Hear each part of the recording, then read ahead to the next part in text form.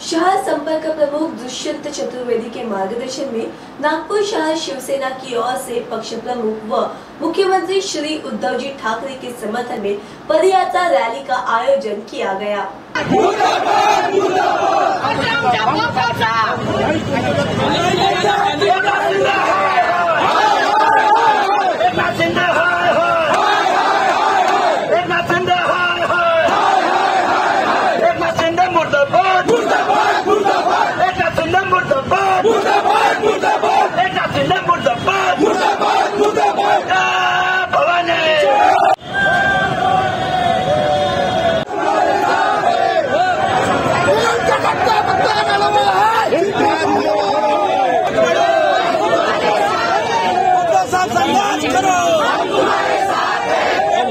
जो राजनीति का परिप्रेक्ष्य चल रहा है, इस राजनीति के परिप्रेक्ष्य में आप देख रहे हैं कि किस प्रकार की विसंगताएँ राजनीति में है। इस महाराष्ट्र की राजनीति में शिवसैनिक बाला साहब का उद्धव जी के साथ खड़ा हुआ है। खड़ा नहीं ठाम पने खड़ा हुआ है। कल के फ्लोर टेस्ट में इसके बाद कुछ भी हो, सत्ताएँ आती रहेंगी, जाती रहेंगी।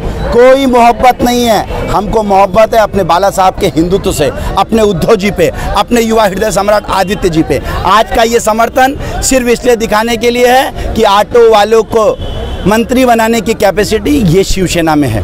ऐसे कितने भी आमदार 40 नहीं 50 भी चले गए तो शिवसेना ढाई साल के बाद या जब भी चुनाव हो गए उद्धव जी के मार्गदर्शन में आदित्य साहब के नेतृत्व में, हम फिर से आमदार चुनकर लेकर आएँगे और सरकारों में हमारा सिंहा का वाटा रहेगा। तो शिवसेना अपने साहब के साथ, अपने उद्धव जी के साथ और अपने आदित्य जी के साथ, पूरा बाला साहब का शिवसैनिक खड़ा है, ये प्रदर्शन के लिए और गद्दारों के लिए माफ़ी नहीं है, ये प्रदर्शन के लिए शिवसैनिक यहाँ खड़ा है। आज क्या करने वाले हैं? आज हम यहाँ पर, यहाँ से हम सीतावर्डी चौक पर हैं। यहाँ से हम संविधान चौक पे मार्च निकालेंगे, शक्ति प्रदर्शन दिखाएँगे कि ये शिवसेना है और ये शिवसेना कायम है। इसका एक चना भी इधर से उधर नहीं हुआ, अपने उद्धव जी और अपने आदित्य जी के साथ खड़ा हुआ है।